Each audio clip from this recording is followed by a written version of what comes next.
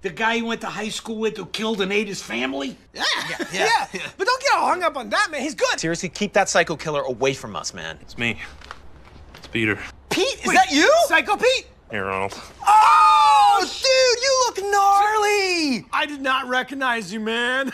Psycho Pete, what happened to your hair? You used to have all the hair. What'd you do? Did you like yank it out in a fit of rage? That's pretty psycho. No, it's just genetics. Oh, genetics, so psycho. So what, what do you want to do? You want to you want to get nuts? You want to get into some shit? Oh, oh, oh, yeah. Remember, like, you used to go right up to babies in carriages and just scream in their faces, you know, they cry? Dude, that was psycho. I, I don't feel good about that stuff. I actually regret a lot of the stuff we used to do. This guy sucks now. Oh my god. Like I don't like him at all. No, he's like not psycho at all. No, it's like mild mannered Pete. I'm like boring, Pete.